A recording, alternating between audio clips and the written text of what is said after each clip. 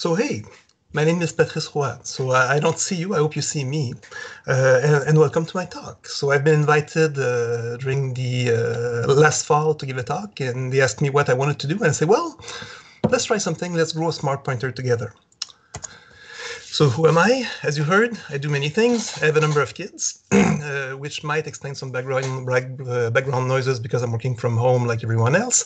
I have a number of animals, which might also explain some background noises. So if you hear birds chirping loud or dogs barking, I'm, I'm very sorry, but that's the setting in which I am right now. And I used to do flight simulators and uh, research and other stuff, and I've been teaching for a while. And yeah, I'm busy. so what are we going to do today? We're going to first discuss slightly what we mean by smart pointer. There's the word responsibility that will come up. We'll discuss that.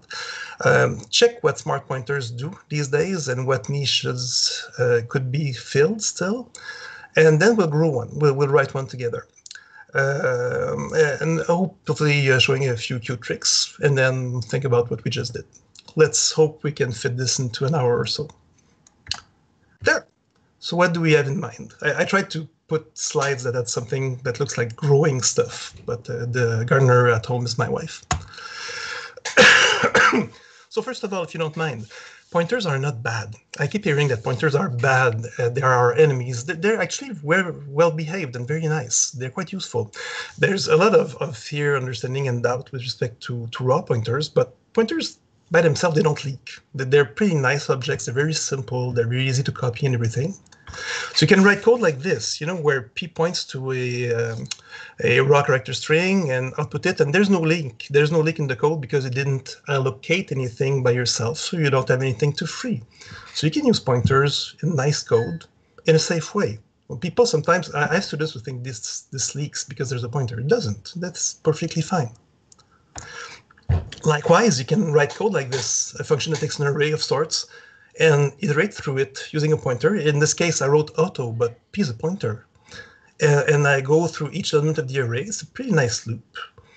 It works, and there's no leak because there's no allocation, so that's fine. So we can we can use raw pointers, even though that's not the subject of the talk today. The problem when we are when we are using raw pointers, it's it's who's responsible for the pointee. And sometimes that's obscured or or unknown looking at the source code. That's where the problem comes from.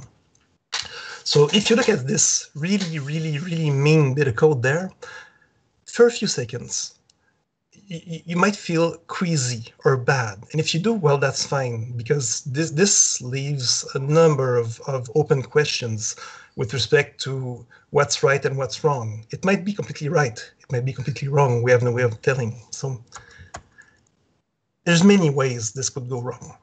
See, if you look at this, you have f returning an x star. So we don't know where star p comes from, where the pointee comes from. Is it C++ code? Is it something done in C or some other language? Something managed by the OS?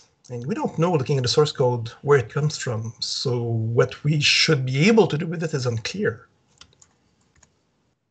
We don't know if GFP will call delete on P. And if it does, what will be the consequence of the second delete afterwards?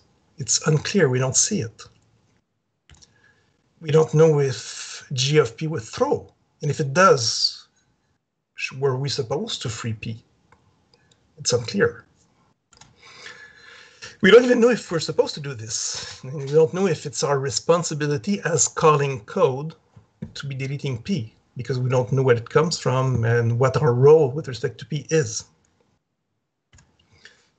We don't know if it was allocated through new, in which case maybe delete would make sense. If it was allocated through new square brackets, in which case delete like this is bad, because it would require the square brackets too. We don't know if it was allocated with malloc or something else. It's really much obscured we don't know.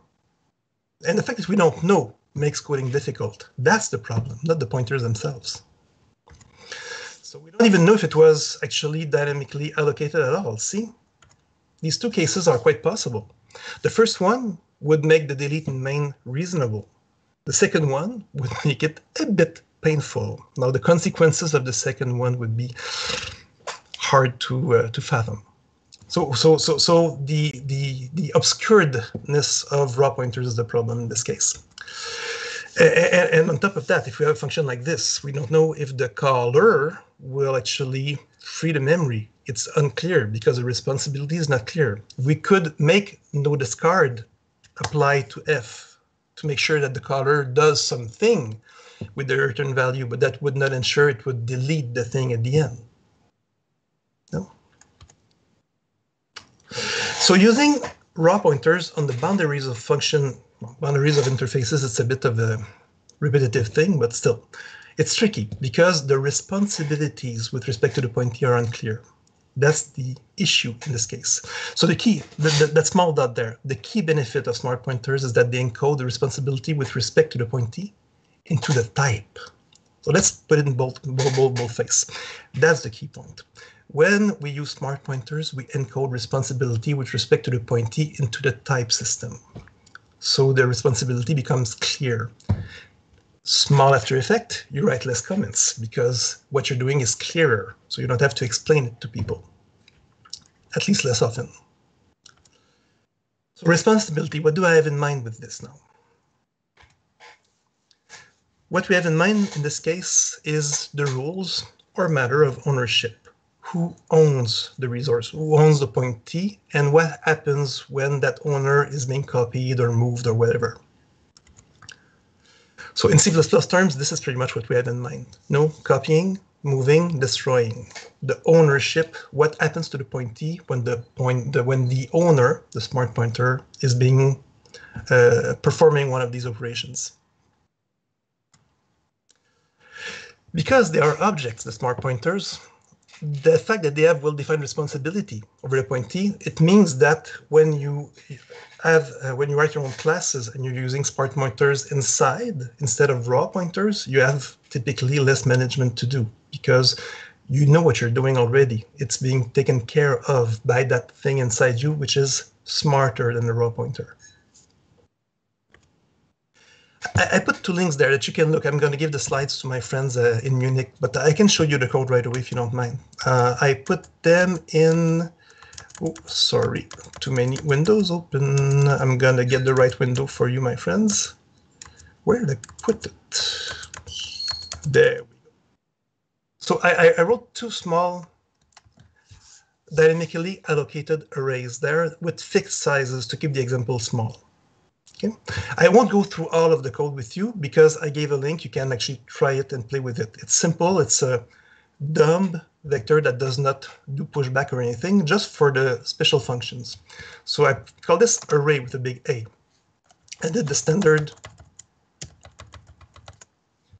aliases that we tend to find in those containers. Since it doesn't grow, I just kept two uh, data members, one for the pointer to the first element and one for the number of elements, as it won't change in this case. I wrote some boilerplate code, size, begin, end, and stuff. Simple stuff. And I did the management. Oops, I don't know if I'm getting a chat right now or something. I hope you're seeing the screen. Yeah, so so simple management of code like this with new uh, calls to algorithms. So simple code, uh, the basic ex exception handling required to make the code stable if there's a, a problem. In this case, using fill, where you're doing assignments of T to T, and something throws along the way, and you have to uh, clean up your own stuff. So just not going to the small details. If I go to the end of the array class where I'm doing the manual management of code, I'm at line 7 in this case. So I'm allocating with new, freeing with delete, well, these uh, new, uh, new square brackets and these square brackets, and just doing the basic stuff for the, the six uh, special functions of C++, copy, move, uh, default constructor, and uh, destructor. If I do the same thing with the smart pointer, using a unique pointer inside to make sure that the memory is being managed by the array, Again, all of this code is made available to you through the link. Same kind of thing, but the biggest change is I'm using a unique pointer in there instead of using a raw pointer. The rest of the code is essentially the same thing, except that I'm not managing the memory myself. It's being handled by that smart pointer in there.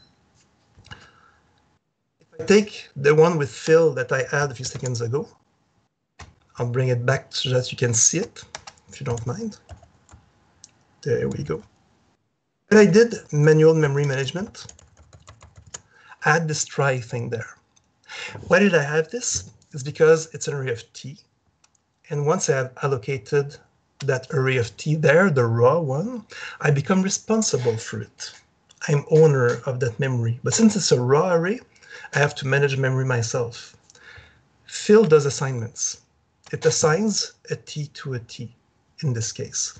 Since I don't know what an assignment of a t to a t does, it might throw, which means I have to recuperate in this case and clean up the array because there won't be any destructor being called since the constructor has not concluded.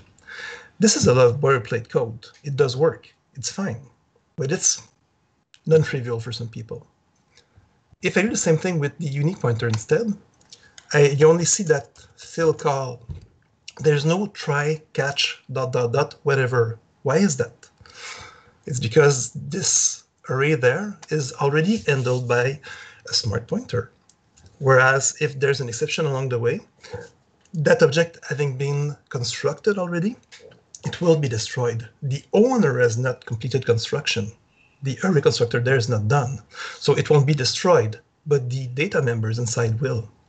So I'm simplifying my life because the boilerplate code is gone. It's under the ends, or in the ends of that responsible object, that smart pointer. So I had 70 lines when I stopped. And in this case, if I go down, I'm at 53. That's uh, just about a 24% improvement in terms of code size without any loss of size or efficiency, essentially in this case. It's actually pretty neat. So just with the basic boilerplate code, there's a significant, I think, 24% reduction of code size, so less code to manage and everything, and all of the explicit uh, exception handling goes away. So if you are working in a field where exceptions are seen as something to avoid, well, putting a try catch might make people feel uncomfortable, but with generic code, sometimes if you want to play it safe, you have no choice. In this case, implicitly, it's already dealt with. It's actually pretty neat. If there's any questions, Lucas, just uh, tell me, okay? So there are smart pointers. I just use a unique pointer, which is an awesome tool. There's others in the standard, but there's not that many. There's five right now, as far as I know, with C++ 20. And the, the main two are the first two. The other three are, are very specialized. You have unique pointer T which means I am the sole owner, the sole entity responsible for the pointee. When I die, it dies with me. There are variations, of course. You can use a unique pointer of T square brackets that allows the square brackets notation on it and will delete with square brackets also. You have shared pointer T, which implements uh, shared semantics with respect to the pointee. So you're copying the share shared pointer, you're sharing the pointee, which asks the question, uh, who's responsible in the end for destroying the pointee? Well, the answer is the last entity which has been using it. So there's some internal counter management in there. It's very tricky code, but it's very nice. The other three are more corner case-ish weak pointer is used with shared pointer in some cycle creation code. I, have never had to use it myself. And the atomic versions of the shared pointers are useful for lock-free programming in very specialized, specialized cases, but they're very cool for that. Uh, Herb Sutter has a nice talk on this in the CppCon a few years back. So the big two are these two those in boldface in this case. Most of the smart pointer users know these. Uh, writing a unique pointer is not that difficult for the basic cases. Writing a shared pointer is quite tricky. Yeah, so it's pretty much what you need. So, so again, what we want is responsibility encoded in the type. That's the plan in this case, because raw pointers, nice as they are, they don't give us that. So these two, already provides some information with respect to responsibility. We know that the unique pointer is the single owner, it's non-copyable, and when it is destroyed, it destroys the pointee. So when you give it a pointer, it becomes responsible for it. For the rest, it kind of behaves like a pointer. It has the arrow operator, the uh, little um, star operator and stuff. Shared pointer implements shared ownership. it shares the pointee with others. It doesn't synchronize access to others, though, but it shares it. Uh, when you copy or assign or destroy a shared pointer, it updates the use count. And when the use count goes to zero, which is a bit of tricky but fun code, it destroys the pointee. But recognizing that it goes to zero because of you requires a bit of, of familiarity with atomics. It's kind of fun to write. When I do that in class, uh, it's an interesting experience. So it's a restricted set of niches. There's only two really big niches in there. The other ones are much more specialized. But there are other niches that we could envision to, to make a, a, a more complete table in this case. You could have one that represents, well, I'm not an owner and I behave like you reference to the pointee, like something that tells you where it is, but I don't, I don't own it. That's actually pretty cool because you already know what it is. It's a T star. It's not smart, you'll tell me. Okay, maybe. But still, the intent these days of raw pointers on function interfaces is to mean you're not responsible for it. So if you're using a raw pointer in modern code, we don't expect you to take responsibility for it unless you're actually writing the constructor of a smart pointer or something. Yeah. There's, yeah, that's pretty much what it is for. You could also put it this way. Uh, there's a proposal that's been in the works for a few years called Observer Pointer. It has a number of names because some people don't like the Observer name because it reminds them of the Observer design pattern, which it has nothing to do with. In, the, in one of the original papers, there's this cute quote that names this the dumbest smart pointer of all because it has no responsibility whatsoever. But it's actually pretty neat. It's really useful. It's useful, why?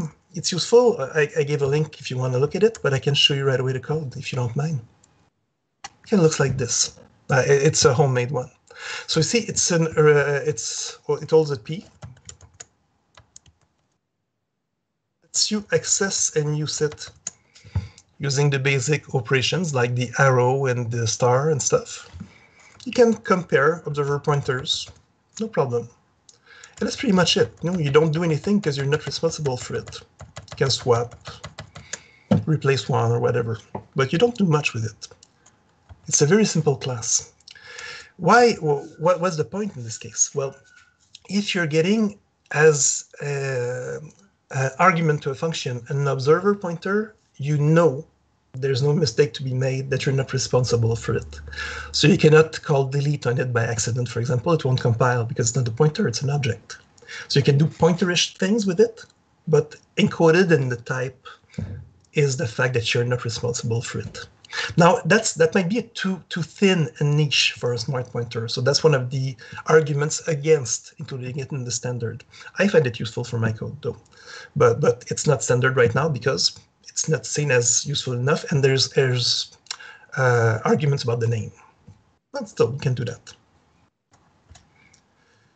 You can also have the this nice case of you're not an owner, it behaves like a reference, but there's added semantics with respect to uh, what the, the, the object means. A nice example of that is, is non-null pointer. So you can write a smart-ish pointer that that's really just a pointer, but that by construction or by design offers you additional uh, resiliency factors, say. This one is interesting in the sense that when you have it, you know it's not null, because if it was null, it would not have reached you in the first place. The kind of code that you get, if you look at the uh, upper side, the upper uh, area of the, uh, the box there, well, I'm getting a raw pointer, and I have code that expects it to be non-null, so I'm doing an assertion on it first, just to make sure. In the bottom part, I'm using a non-null pointer, I don't need to assert if it was null, it would not have reached me. So my interface with the type that it's using encodes information with respect to the expectations. That's pretty neat. And it's not that hard to implement. I put one there that's also made available to you. The real point is, in this case, I used exception throwing. It could be something else. But I have this invalid class that I could throw if there's a problem. And when I construct in a null pointer from a raw pointer, if it's null, I do something to make sure it doesn't complete. It could be anything, it could be an assert, depends on how you feel. And the rest is just a thin layer over the raw pointer because past that point, you're okay. I'd go further, saying that once you have consumed a non-null pointer in your interface, you could just use a raw pointer underneath and play with it because you know you're okay. But uh, it documents at the boundary of your function what your expectations are. It's pretty nice. It removes checks, explicit checks from your code. So far, so good. Yeah, please. And there's a question. Cool. Um, why not use reference instead of observer pointer? It really depends on where your, your information comes from. So when you have an object already and, and, use references, but sometimes you know you're playing with operating system resources and, and, they are provided through pointers. Or sometimes you have an abstract-based base class of some kind and it's been given to you as a pointer. Or you're just, you don't want to dereference to, re, re, re, to return to the address of afterwards when you already have a pointer in your hands. So yeah, but the, if the remark is you already can do some most of these things with references, I totally agree with you.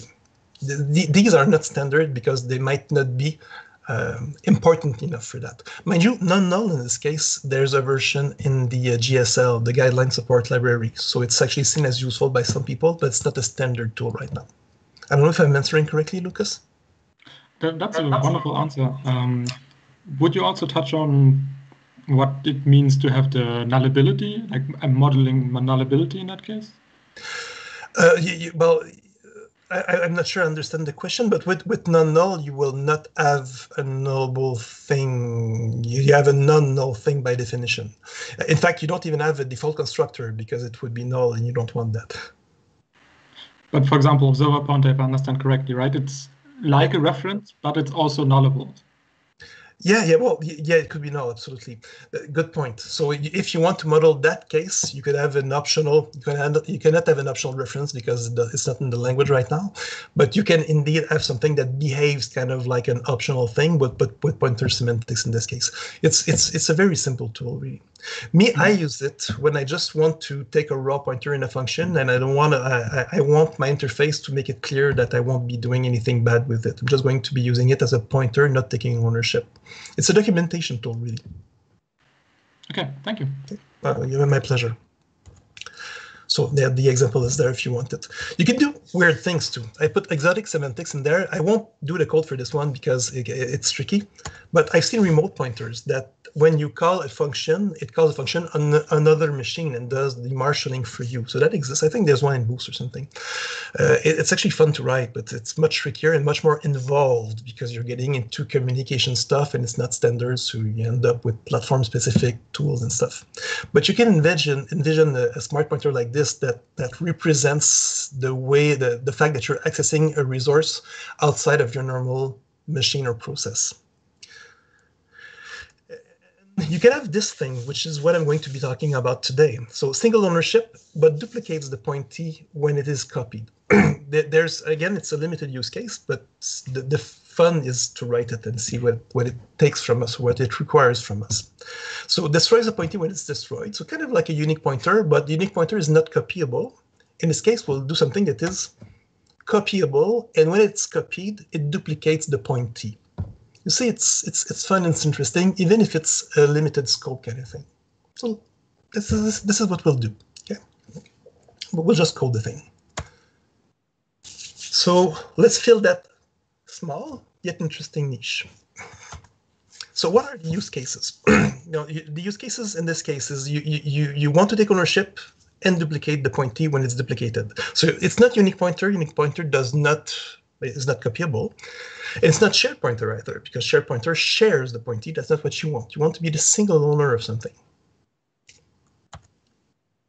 Um, yeah, so it's kind of value-like semantics because you can copy and stuff. You're kind of the only responsible, the only owner of the pointee, but sometimes there are things that you need to allocate dynamically. For example, uh, you have a private destructor. If you have a private destructor, you can only be created through new or some other mechanism because from the outside, we cannot uh, make a local variable of your type because it cannot be destroyed implicitly. So you need to allocate. And there are some weird things like that that exist. Uh, yeah, so so yeah, sometimes you need that. It's it's it's limited niche, but still. So one step at a time. Okay, first, hey, there we go. So we got the framework for this. So based on a type, eh, we have a dup pointer, dup for duplication, if you don't mind.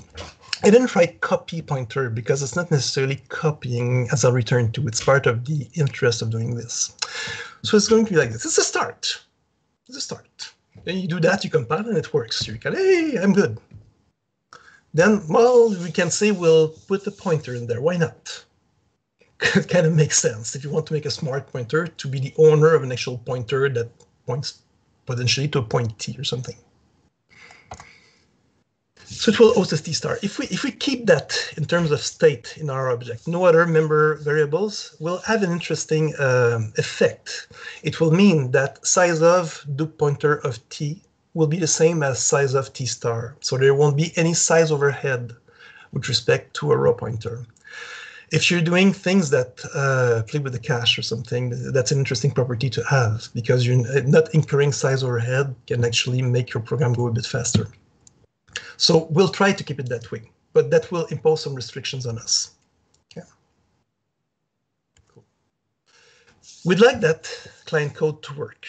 So a main there that does a static assert stating that the size of uh, dup pointer of int, a default one, is the size of an int star. In order to be able to do this static assert, I need my uh, default constructor to be constexpr. It needs to be a compile time thing. Uh, mind you, not even, you know, the size of, yeah. Uh, if I remove the braces, uh, I can do it at compile time without this, but I wanted to make it constexpr. And then I create a default uh, dup pointer event, and I make sure that it's empty because that's kind of what it means. It's a null pointer of sorts. So I'd like this to compile. If I go there, if you mind, uh, well, my default constructor in this case, uh, which is the first one under the public uh, public uh, colon thing, uh, it's constexpr and it initializes p to null. So I'm getting part of what I wanted to do. I have this empty function that makes sure that I'm empty if my pointer is null. I, I don't mind the uh, bang p notation myself, so that's what I'm going to use as short term. And I have the operator bool thing that says, well, I'm true if I'm not empty, which kind of makes sense. So that's pretty much the baseline of my thing. This code that I wanted to compile compiles with this. It's a pretty nice piece of work. It works. It's not doing what it's supposed to do yet, but I have something. So far, so good. Cool. Well, I could make it nicer. There's one question. Yeah, please, please, please. Um, it's not entirely related, but uh, someone asks, most container iterators implement operator deref and operator ampersand. Do you consider them smart pointers? Are they responsible for what they point to? That, that's really a question. answer? no, no, no, no. That, that's really that's really a question to ask. So, mm-hmm. no, so, so they, they, probably aren't because they're not meant to do that. One thing that you have to remember is that uh, you can implement the arrow and the, uh, the, the star operators without being pointer-like. It really depends on what you want to do. Uh, so, so, if you consider your your iterators to be responsible for what they point to, mind you, observer is not really responsible, but that's that's the only semantics it's providing. Uh, I, I, I see iterators myself as tools to go through a sequence mostly. Uh, yeah. I, I, how could I say that? The the fact that there are syntactic resemblances does not necessarily mean that you're you want to convey the same semantics. So so it can be used kind of the same way it does not mean you wanted them to mean the same thing. We would have to ask the uh, designers of those things what they had in mind. I know that they wanted them to be syntactically similar to pointers, which is what they achieved, which is pretty cool. I don't know if they considered them smart, but yeah, it's an interesting question. I have to think about it. Thank you. Um, another question just popped in. Cool. How about smart pointer type that enforces full const correctness? Can only be accessed as const meaning as a const smart pointer I must wrap a pointer to const. Uh, is the question, can we write that? Or I, am not sure. Maybe the person can clarify, but let's assume the question is, can we write that? What do you think about it? Well, you, I, I, I don't know how useful that is because you already kind of get this. Uh, if if you're using, uh, what would be the, the real thing? Let me think about it and we'll come back to it, okay? Because I have to wrap my mind around what the question actually means. Uh, uh, it would mean that you're having a pointer that only lets you do non-modifying operations, kind of like a string view of sorts. So we have things like that in the standard. The, what would be the use of having a pointer that only does const stuff, so is only readable, nothing else? It's like a constref or some or a constref of something if we had uh, actual use cases or client code that would benefit from it, it would make it easier for me to think about it. So whoever wrote that function or wrote that question, try to prepare some kind of use case for me, and we'll talk about it after the talk. Okay. I'd like to see what you have in mind. Cool. Yeah, so we can make it simple by by uh, doing non-static data member initialization with P. There, I'm making sure that P is null by default, and doing uh, the pointer by default is equals default in this case. So this gives me constexpr for free. It's kind of nice too, and it makes for slightly sh shorter code. So why not? So baseline, I'm still not duplicating anything. I'm still not responsible for anything really, but it's a start. You know, it works. If we want to take responsibility, at least first step, well, one thing you can do is actually accept a raw pointer as an argument to your constructor. So here someone is providing you a raw pointer and saying it's yours now. So from now on, you're responsible for it. So it's reasonable to say a dup pointer of int that takes a new int as argument. If the new fails, it doesn't matter for you. And if the new worked, you're being given that, you are by definition the responsible party now. So client code is not supposed to play with it except going through you afterwards. And my destructor there just deletes the thing. So this is the basic framework without duplication yet. It's something. Now, sometimes I see people wondering, what, what do you do with delete if the pointer is null? Well, it's a no-op, so don't worry about it. So delete of a null pointer does nothing in C++. It doesn't do anything for years. We could do specialized uh, versions of this with uh, T square brackets. Say, I won't do it. It's fun to do if you want to try it, but there's a matter of time in a talk like this. Okay, but it's not that difficult to do. If we add that thin layer of pointer-like operations. Now the, the dot dot dot thing that you see on the slide right now is what we've already done that I won't repeat, otherwise it will become very small on screen. So the first two uh, functions that you see there are my dereference operators, very simple as you can see. They're marked noexcept in this case, and sometimes people react saying, noexcept? What do you do if the pointer is null? If the pointer is null, it's of an exception, you won't get an exception, you'll get trouble. because you're doing you're you're doing undefined behavior really. So it's not an exception you will you will do. I could validate there, but then I would incur overhead with respect to a raw pointer. Just don't do that. So noexcept is fine in this case, contrary to what some people think. so it's very thin. When I have a dup pointer ft and I dereference it, it dereferences the actual raw pointer inside. It was going to be in line, then you're going to get very thin code. Pretty neat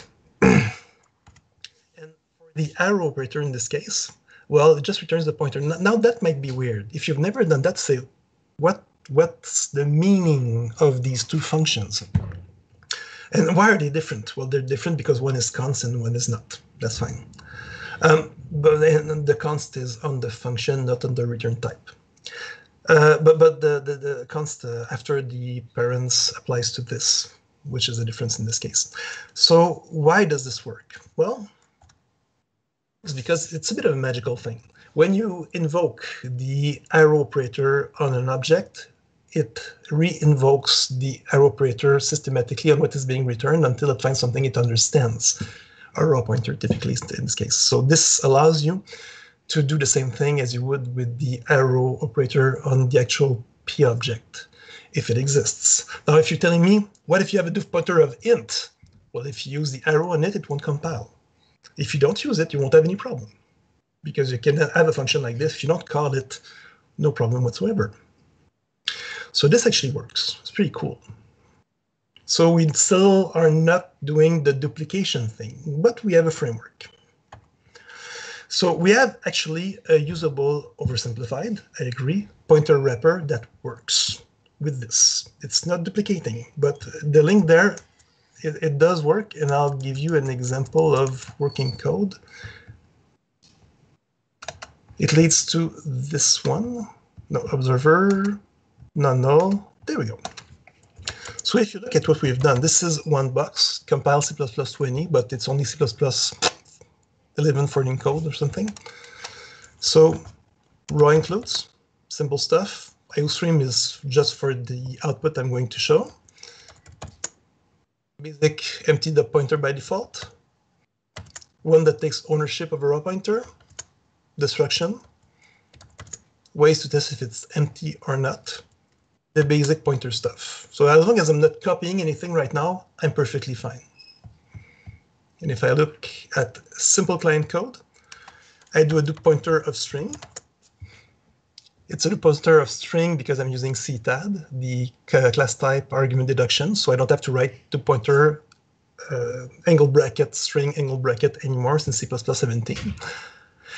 And I'm using quoted to quote the string because there's a space in it. That's just standard stuff. And so you see I'm doing the star thing there. I'm doing the arrow thing there through dup pointer and P dies there, the star P dies there. And if you look at the code, just works. Very neat.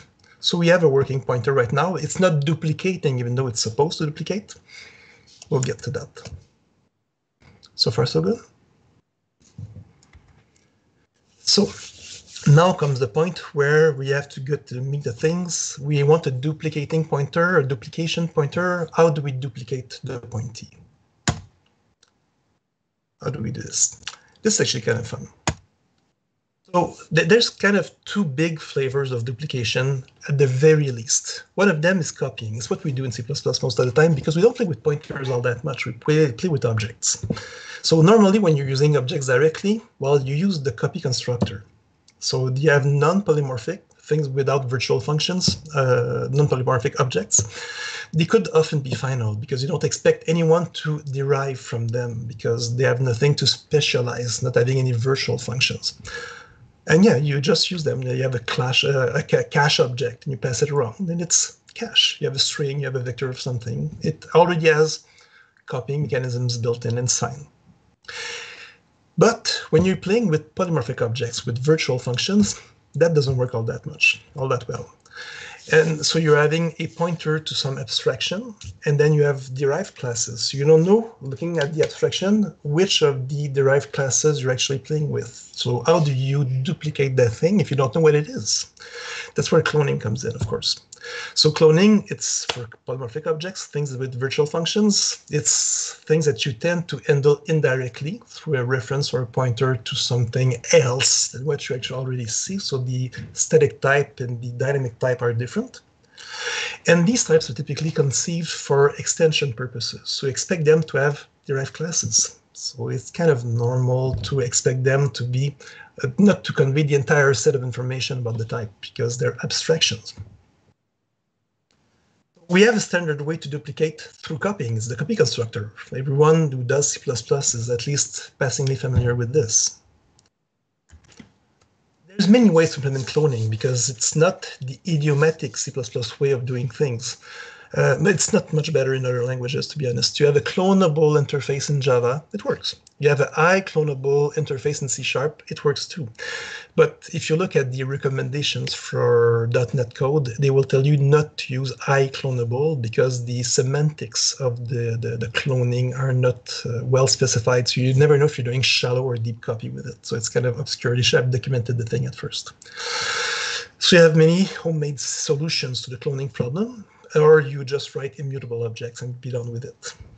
because if you don't need to mutate things, you don't need to make copies of it. So yeah, there's many ways to do that. So this, this one that you see there, it's doing copy. So that int with a big I on the left, well, it's a very, very simple int wrapper, you know? And if you look at modify locally, which takes an int reference, it makes a backup on the first line. So that makes an actual copy of the int it changes the n of the original int with a big I, outputs it, and returns the copy that has the old value because it's not a shared semantic, it's a copy semantic. So in the first line of main, n is zero. When you pass x to modify locally, it changes that object and displays one, but returns the old value in this case, which I display afterwards in, in main and displays zero. So that's copy. It's rather simple, and it's what most of us do day to day in C++. Now, you, you can see that's probably not something you will want to inherit from or derive from with int. It has no virtual functions to specialize, so it wouldn't make a, big, a good abstraction for derived classes in the first place. It would be questionable to inherit from it. Maybe, maybe privately or something. this is different. See, image as virtual functions. It isn't. It even has a pure, pure, pure virtual function, which is display. It's an abstract one, and I have PNG there, a PNG, that that is an image with its own specialized display uh, function. It's very cool. It displays PNGs. Main does a new PNG at the bottom uh, right end and uses it through an image pointer because Im uh, PNG is an image.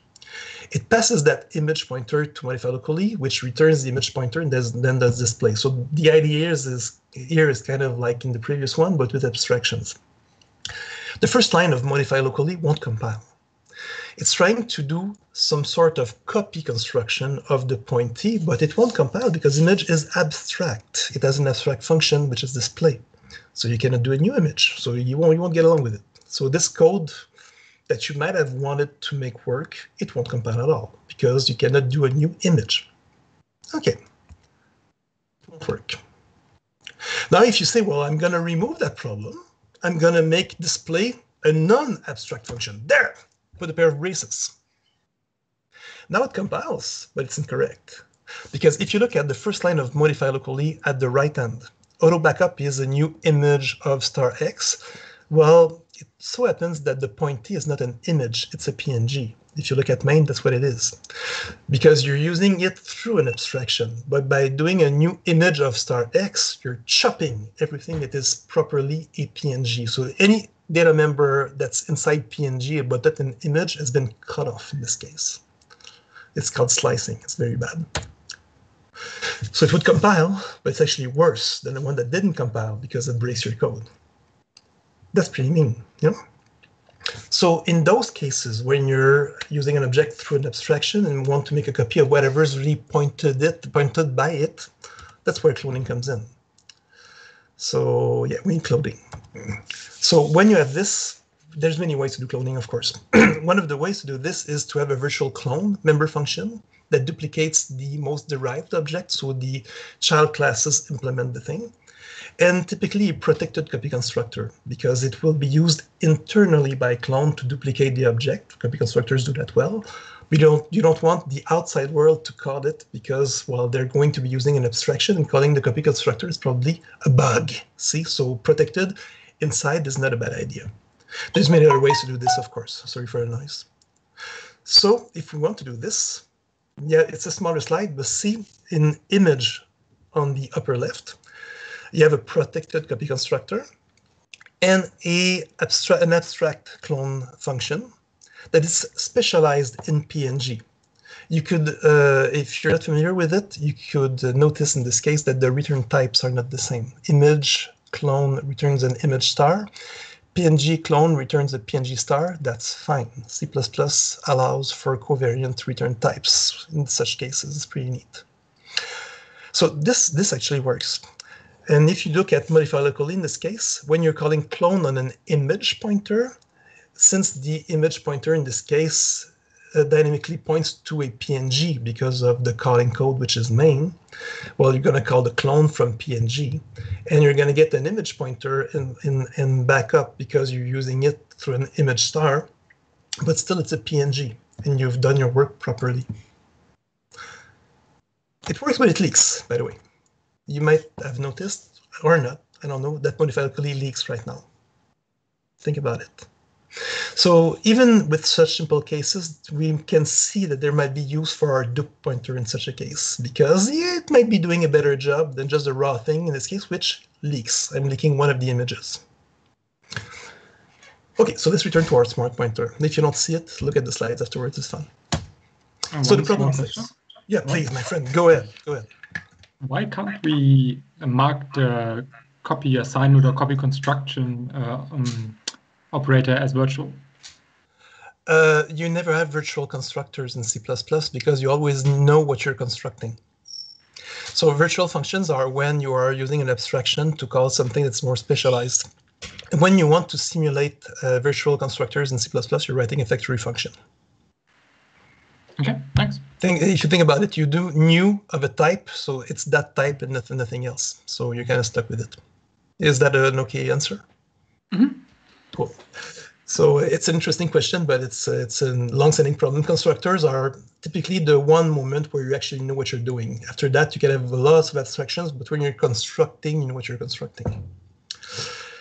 So yeah, the problem space is this one. So you have objects that can be copy constructed. You have objects that you will want to duplicate through cloning, and there might be other cases that we've not seen. So so we, we kind of need an escape hatch of sorts for these bits of code that don't fit into those basic families of duplicating uh, operations.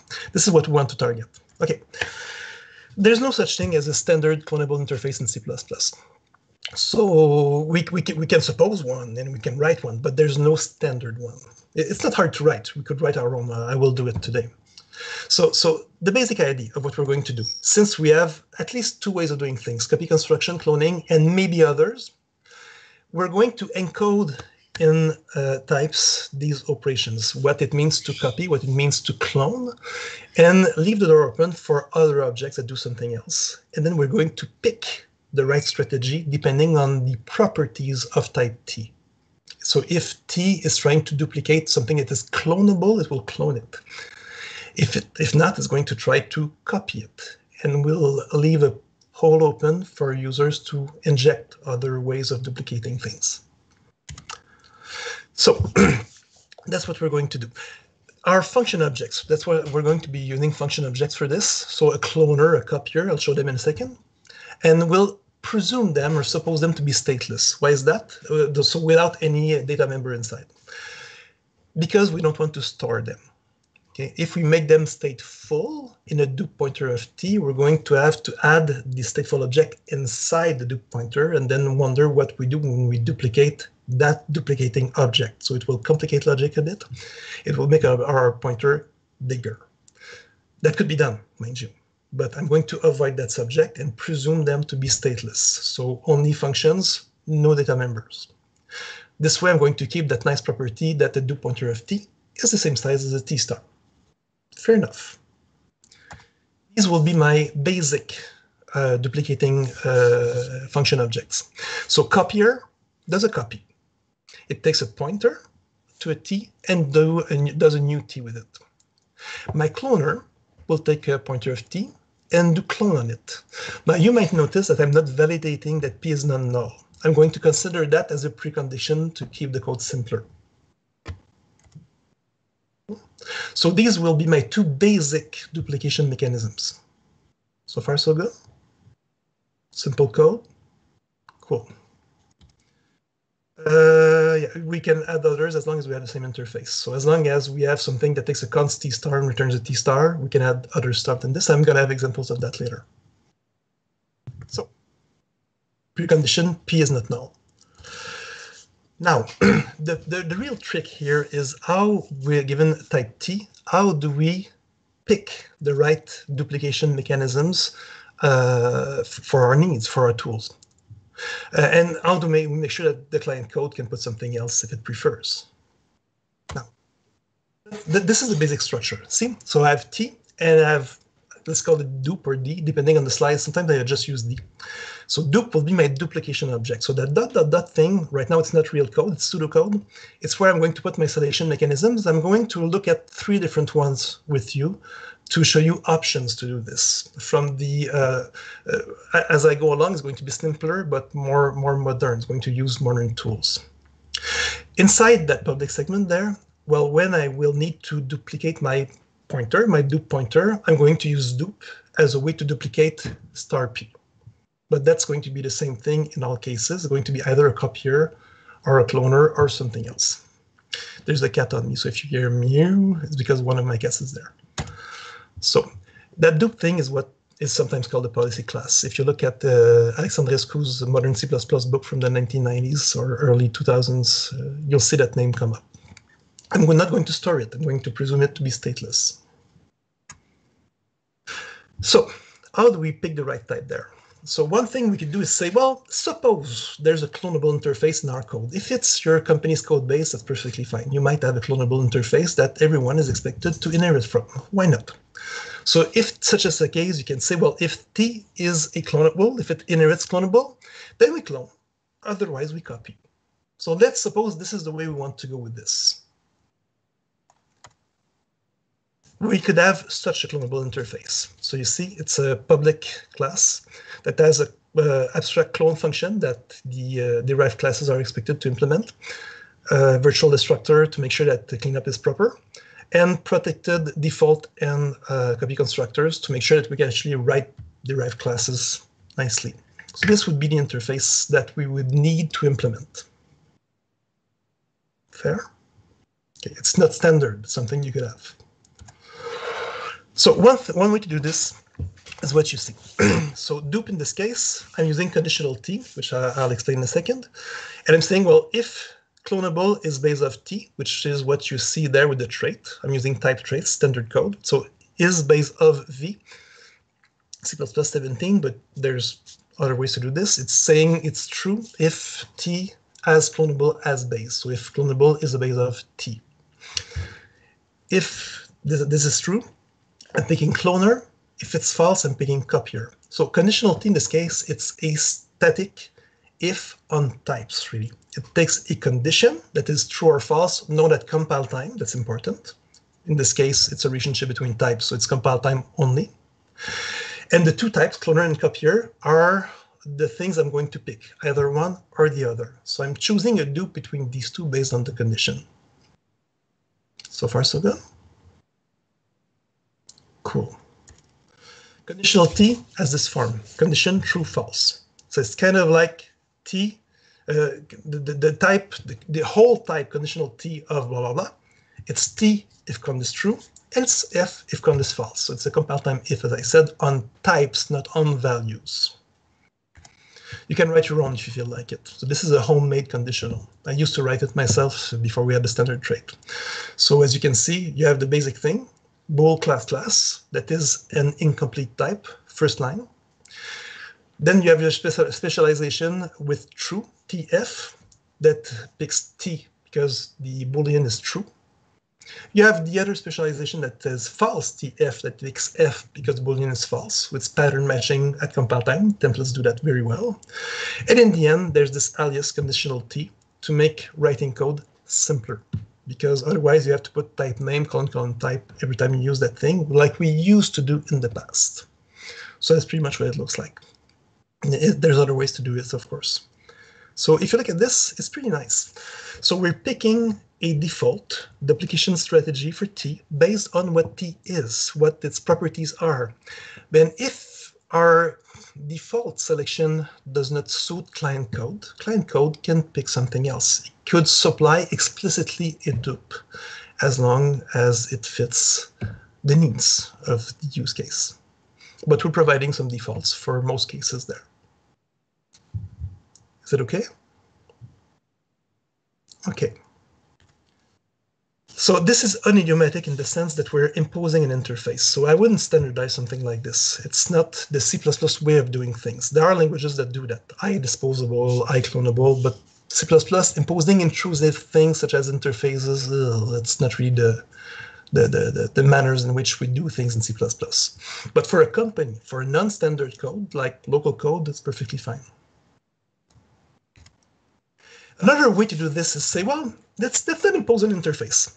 If t has a const member function named clone, so we're, we're sticking to the name there, then we clone. We're going to suppose that clone clones. Otherwise, we copy. So if we if we do it this way, instead of inspecting at compile time the code to see if there's a specific interface, we're going to inspect for a specific function. Why not? This is the actual whole code for this. It's written a bit smaller, so let's take it one step at a time. The first version uh, on top, just be just underneath the include there. It's as clone, which is by default false. So false type is in type traits. It's a type that represents the concept of being false. Its value is false. It's distinguishable for, from true type, which is true. So by default, as clone is false. Let's see it this way. The class equals void there is a trick. The second specialization there, has clone, uses void t. So t colon void t, and there's this weird thing that I'm going to explain. So look at this strange line. It's beautiful, really. It, it looks strange, but it's beautiful. Void t is, is a piece of, of, of art from uh, Walter Brown. uh, when he presented that at CppCon 2014, if I remember, he had a standing ovation with this. It's something that lets you dis um, discover or verify or assert or whatever, ensure that a type, a specific expression is legal. So look between the uh, in the middle of the the angle brackets of void t. You see declaration type of something. And inside the declaration type, you have an expression. Decl val of const t star, call, uh, parent parent, arrow clone what we're trying to express here is if I have a const t star, an hypothetical const t star, should it exist, doesn't have to, and I call clone on it, does it make sense? That's the way to read this thing. So if I have a const star and I call clone on it, does the expression make sense? If it makes sense, the, that lower thing will be selected and true type will be associated with S clone. If it doesn't make sense, the first one will work. It will pick false type. So it lets me pick between two things based on an expression, an arbitrary expression in this case, without ever constructing any t or, or whatever. I, am going to go back to this. Then you have this constexpr shortcut as clone v, just to make code simpler, to avoid having to type as clone t colon colon value, which is uh, quite a mouthful. And then I'm using conditional again. If it has clone, as clone v of t, I'm picking cloner, otherwise I'm picking copier it's much it's a bit more work but it's much less intrusive than, than imposing an interface on types because now it works with just about anything void t it's a brilliant piece of work you can look at it i put the link there on the, on the cppreference it lets you detect a number of cool things it's very simple code it's it's stupendous uh, patrice on this Please. slide uh, there's a question yeah, why course. do we check for clonable but not check for copyable? Because uh, the, the supposition in this case is that copy is the default. So, so things are copyable in general, if it's not if you try to copy something that's not copyable, it won't compile at all. So if you remove the copy constructor, you delete it, it won't compile. So the, the point is in this case that if you have something that is uh, polymorphic and you want to go through other means than the usual way of doing things, then you clone or provide something else. The supposition in this code is that by default you have concrete types and then copy does the job. Is that an okay answer? Mm -hmm. That's and, good. Uh, you can write a copyable class, by the way. Struct copyable, brace, brace, semicolon. It works fine. Mm -hmm. Mm -hmm. And another question. Can't we do that void star, void t thing with concepts now? Yeah, I will. I will in a second. I'm, I'm getting there. Mm-hmm. Promise. Is that cool? So void t still it's still nice to, to show because it's a beautiful piece of work. So decl, decl val there it's a non-function. The, the whole code is at the bottom of that that uh, orange square there. You, you have it all. There, there's no implementation. It's a function that makes it look like you have a t. So uh, the way to see declaration val is if I had a t, in this case a const t star, and then and then I can do anything with it. I'm calling clone there. If that thing exists, so it, it, it won't it won't give you anything because it doesn't exist but it lets you reason based on the expressions that you have. So declaration type of that weird thing is what does that type make sense in, in sort of a way. So it's a non-function. It's pretty cool. Yeah, so we're validating to see if you can have a clone function in a const star and call it. If your clone is non-const, in this case, it probably won't compile or something. Yeah, so this is one way of doing this. Uh, so uh, as I was saying, instead of imposing a basic interface on everyone, I'm, I'm looking for a specific signature of function functions. And as your uh, your participant just mentioned, well, you could that, do that with a clonable concept today, which is actually pretty cool. If you have a recent compiler, though. So yeah, you can define a clonable concept. It's even nicer. So it looks like this. so in this case, I'm saying for a type T, clonable is satisfied if. That's the requires that you see. If given a const T star P, I call P, P clone on it, and the return type is something that is convertible to a T star. This is pretty much what I had in mind when I wrote this. So that makes for very nice code if you look at it. It's I think it's straightforward. It's nice to read. And you can do clone, conditional T again on clonable of T. Pick cloner or pick copier. It's pretty neat, but but you need a recent compiler for that. I did include concepts because I'm using std colon colon convertible to. It's in the concepts header that you will see, this thing. I, I love C++20. So this this is a much simpler way of achieving the same same kind of effect, indeed. Uh, yeah, it reads well and it checks the return type and everything. Okay, so we have this. Do it this way too. Look at the difference. Instead of, let's go back for a second. The one that I have here is saying dup is, if I'm clonable, it's cloner, otherwise it's copier. But I can still supply something else for dup in this case. If I think that I'm only going to have copyable and clonable things, I could do it this way instead. So I have two specializations of dup pointer. The first one that requires clonable of t, and the second one that says requires not clonable of t. This actually makes for two full implementations where dup pointer can just do the job itself without relying on a policy class. You can just implement everything because it knows in the first case that it's a clonable one, in the second case that it's a non-clonable one. But that does not leave as well the room open for more exotic ways of duplicating. So I'm going to keep the one that uses dup, if you don't mind. Is that okay? C++20 changes everything. It's so cool. I was having a discussion with Lucas earlier saying, we are adding too much stuff in the language. Yeah, but concepts are really cool. okay, so the, the, the, we're going to keep the previous version. It's a bit safer for us. Now, uh, if client code, that the, the last, uh, the last um, um, bit at the bottom, what if client code has something else than clone and copy?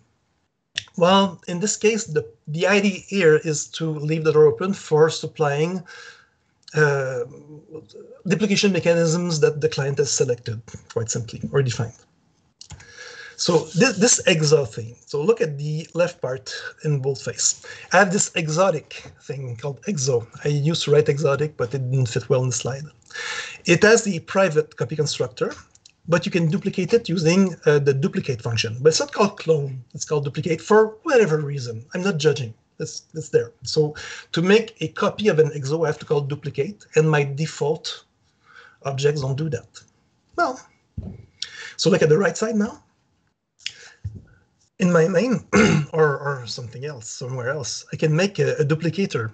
I call that exodup in this case. That calls duplicate. And I can make a dup pointer of exo uh, comma exodup. And then I have an uh, dup pointer that will duplicate using the, me the mechanisms provided by exodup. So it's that simple. So someone who is using something else than the basic mechanisms can do so. Questions about this? Is that okay? Okay. And then if you another way to do this would be this. Uh, I thought uh, about putting this in case people would find it fun. So duplicator in this case is a function that returns a lambda, and I'm using the declaration type of that uh, function there. Um, uh, it could it should be duplicator duplicator paren paren uh, at the bottom. I should fix this. So if I call duplicator, missing the parens, what it returns is what I'm going to be using as a as a duplication device that works too. So there's a missing pair of parens on line uh, on slide uh, 119. There. So when we put it all together, we want to have a workable working solution. Okay, so the point again is responsibility over the pointee. So it intervenes in these six functions really, and mostly in two of these. So these are, these are specific one, the, the special ones. So these two, copy constructor and copy assignment, are those we care for in this case. We'll look at the others too by out of principle, but they're not the main point. So, so uh, I'm going to be using the copy and swap idiom. So if you're not familiar with it, I'm going to write assignment using the copy constructor and swap. The swap will look like what you see on the screen right now. It's a pretty common idiom in C++. If you want to know more, just write to me.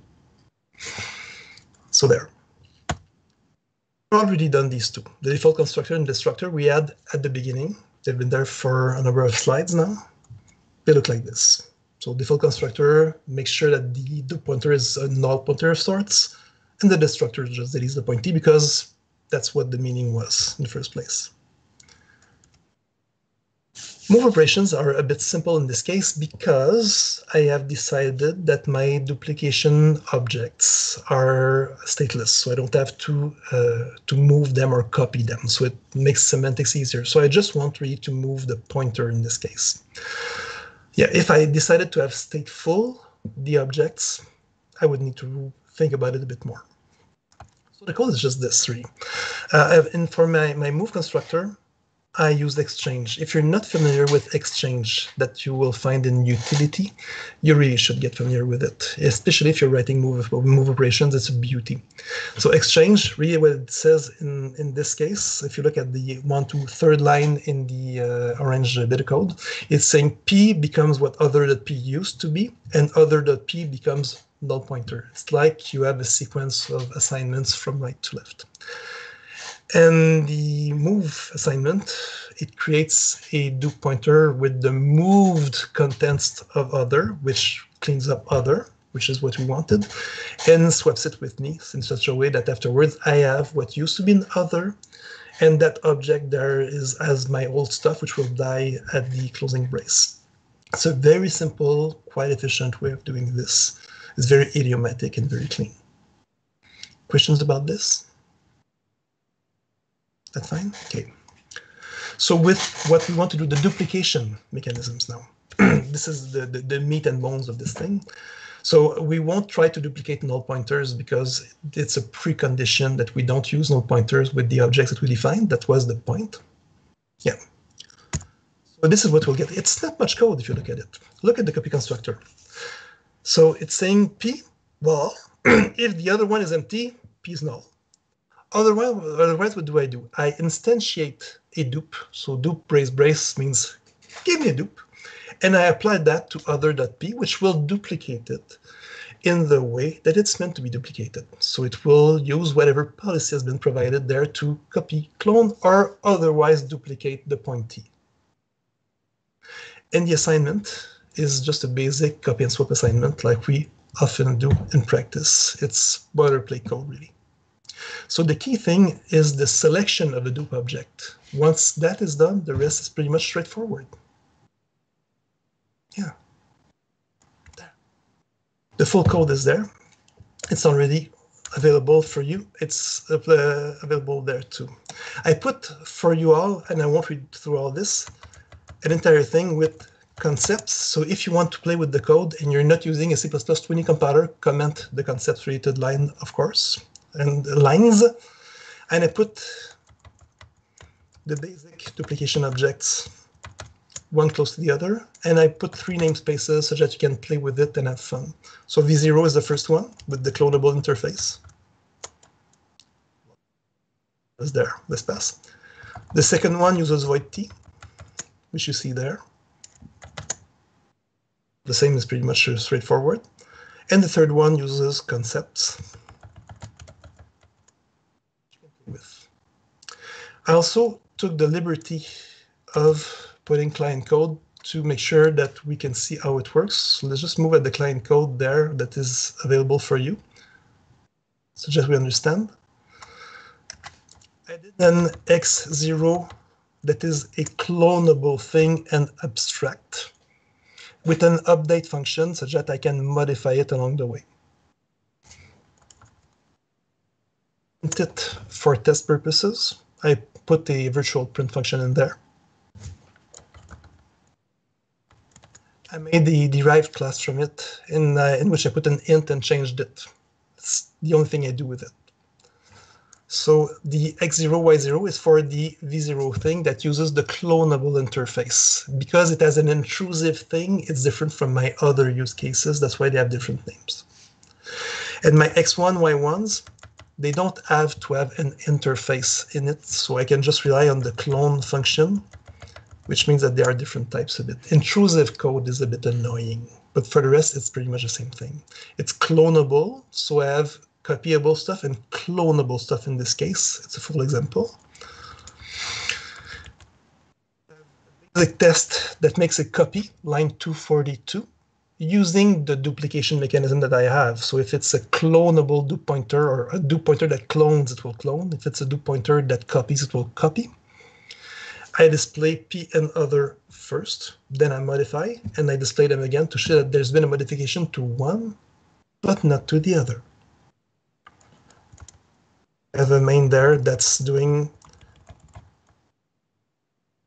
things on copyable objects, and things on clonable objects, y0s and y1s, depending on the dependency or not on an interface, which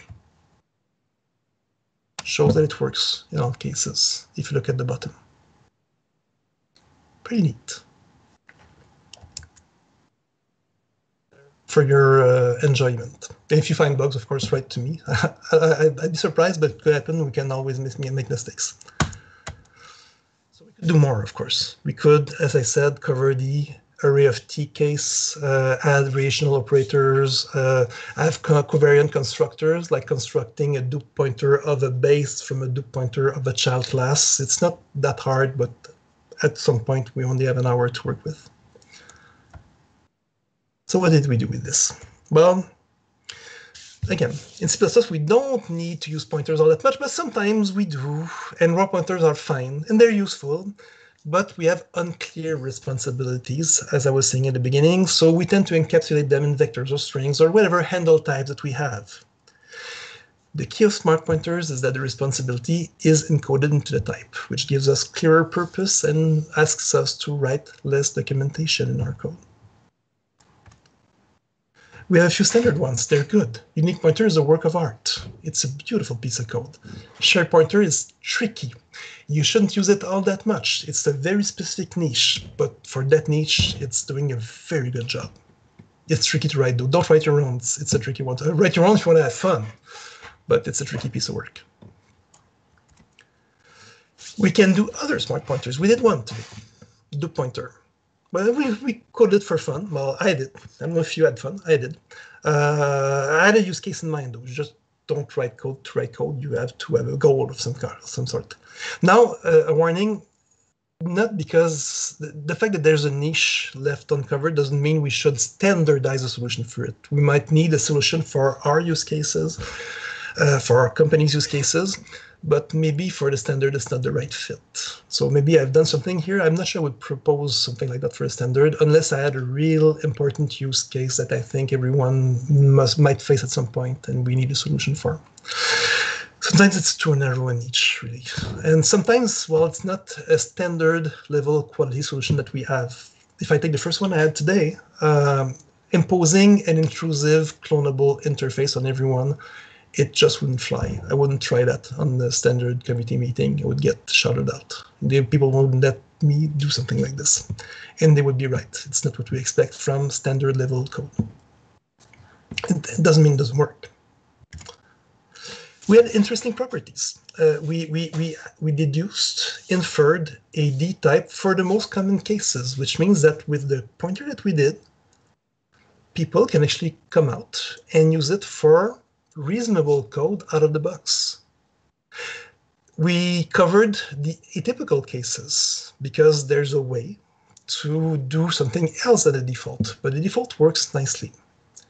And provided that we stick to stateless duplicating mechanisms, well, we don't incur any size overhead. So it's not bad code, really. It's kind of nice. The deduction of a policy class is the trickiest part in this case. So, but there's many ways to do that. There's more than what we did today. We can impose an intrusive type relationship which might be okay in many languages. It's just not the C++ way of doing things, at least at the standard level. We can detect the validity of expressions using void_t or some other ways. void_t just is just a very nice way of doing it. And we can detect that we conform to a concept, which is pretty cool. So T satisfies clonable. You can find other ways to do that too. Like you can find other ways to do cloning. There's ways using CRTP and stuff. Yeah. So it was fun doing, and I hope you had fun too. There we go. Well, well thank you very, thank much, you very for, much the for, the talk. My pleasure. Um, it was wonderful having you. There are some questions. Um, maybe tricky, tricky one for the start. Regarding conversions between pointers, how does dynamic cast interact with smart pointers? Um, th there, there are specialized functions for that that I almost never use. But there's a static pointer cast and a dynamic pointer cast. I think you should look into them. Um, if you want to use the raw pointer inside the smart pointer, you can typically call a get function that gives you the raw pointer and then do all the casts that you want on them as long as you don't take responsibility for the pointee. Okay, for those specialized I don't want to say anything that's wrong because I've never used them. I never had a need for them. So there, I can tell you that if you don't have a get function for your smart pointer for some reason, I didn't implement one with the one I had today. You can always always do p p dot operator arrow paren paren. And it will give you the, essentially the same thing as a get. So you can always access the raw pointer from. Uh, oh, congratulations, Katarina. There. Okay, so, so again, I'm listening. Sorry, did I answer correctly? I'm not sure if there is a correct or wrong answer. I think you gave a wonderful answer, so thank you for that. Um, maybe a bit of heckling now. There's someone noticed something on your Wandbox example and thinks you made a you, you missed something.